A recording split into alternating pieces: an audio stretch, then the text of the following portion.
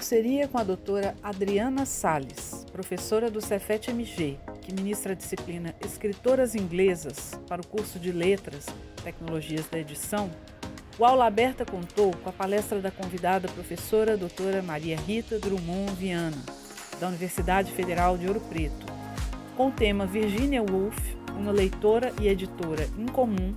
A pesquisadora contou um pouco sobre a vida de Virginia Woolf trazendo um panorama a respeito das relações sociais, pessoais e profissionais dessa escritora como editora da Hogarth Press, uma pequena editora britânica fundada durante a ascensão modernista do século XX.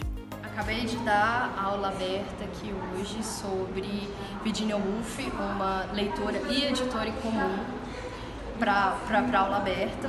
E foi um grande prazer vir aqui no Cefet, a convite da Adriana, e gostei muito de ver o engajamento do pessoal, trouxe várias questões de edição, de, da literatura de língua inglesa também, para a gente poder pensar Virginia Woolf nessas redes modernistas mais amplas. Foi uma aula muito enriquecedora, a gente é, entendeu as relações sociais, interpessoais e profissionais que colaboraram para a escrita dela. Foi ótimo.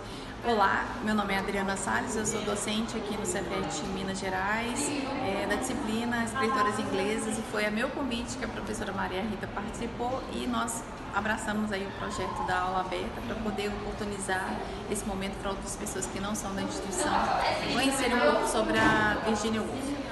Bom, Virginia para mim é sempre um prazer como leitora, né? E aí a, a aula aberta professora Maria Rita, ela trouxe elementos que a gente não conhecia, ou grande parte do público não conhece sobre a Virginia Woolf, que é a Virginia Woolf editora, tipo, né, quase que boa na mão na massa.